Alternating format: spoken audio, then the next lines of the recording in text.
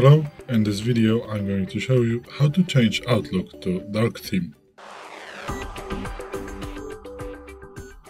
I'm using the 365 Office version of an Outlook and uh, it is going to work the same on the all Outlooks.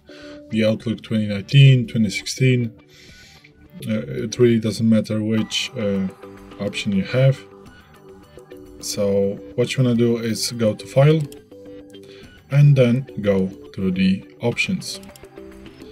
And now in the general section, which is on the top of this new window that have come up to your screen, uh, you can see this personalized personalize your copy of Microsoft Office section and you can select the office theme here so you can select the use system setting you can select colorful white or black. So for example if you want to go to the dark theme select black or maybe dark gray.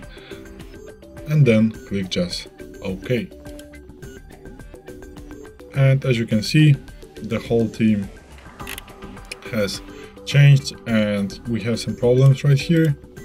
As you can see so what you're gonna do is just restart the outlook and it should work properly as you can see right now it is working properly so this is how you change outlook to the dark theme thanks for watching i hope this video helped you if it did please hit a like and consider to subscribe to our channel.